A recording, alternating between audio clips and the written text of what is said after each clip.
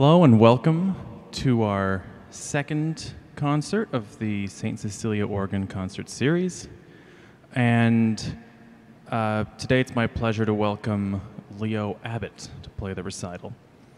Um, when, as a, as a parish and as a congregation and as a musician as myself, you're gifted an instrument as beautiful as this organ we have here it comes with a responsibility.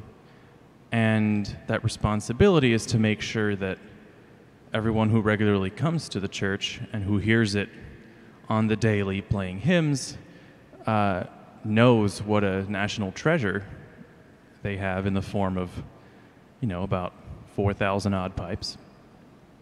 And also that the public uh, outside of the congregation uh, knows that this great instrument is here.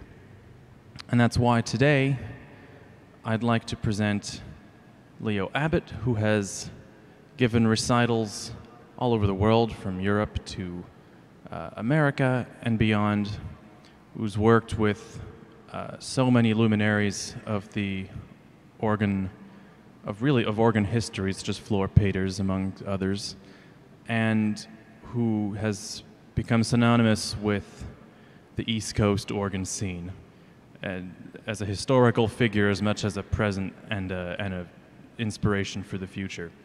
So, would you please join me in welcoming Leo Abbott? Thank you.